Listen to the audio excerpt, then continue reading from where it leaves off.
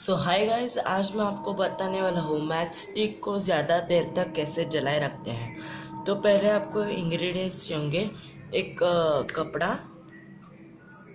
एक सीज़र और एक मैच बॉक्स जिसमें मैच स्टिक्स हो ठीक है? और एक मैच दो तीन चार मैच स्टिक्स चाहिए।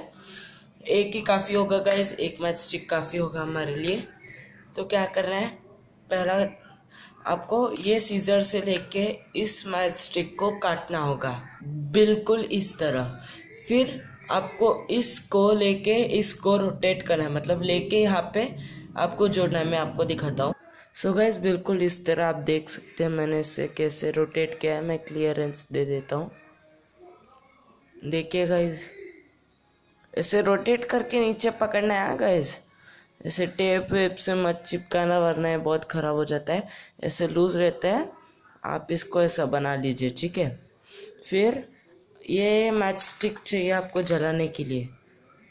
देखिए, और आपको, और गैस आपको एक तेल चाहिए होगा। कोई भी कुकिंग तेल हेयर ऑयल कौन सा भी तेल चाहिए होगा, ठीक है गाइज़ तो आपको करना क्या है, आपको ये पोर्शन ऊपर वाला पोर्शन है देखिए एक मिनट और ये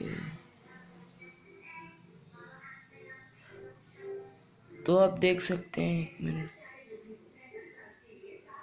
तो ये ऊपर वाला हिस्सा, ये ऊपर ब्राउन ब्राउन है, उसको ड्राई रखना है। और ये आप देख सकते हैं, ये बाकी का पोर्शन गीला कर देना है। तो आपको करना क्या है, उसके बाद आपको ये जलाना है। तो मैं इसको ज़रा दूर रखता हूँ।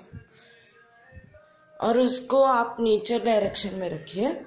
आपको दिखाता हूँ एक मिनट गाइस आप देख सकते हैं।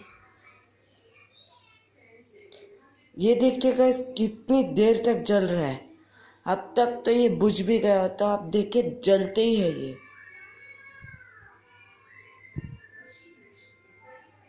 देखा गाइस, देख रहे हैं?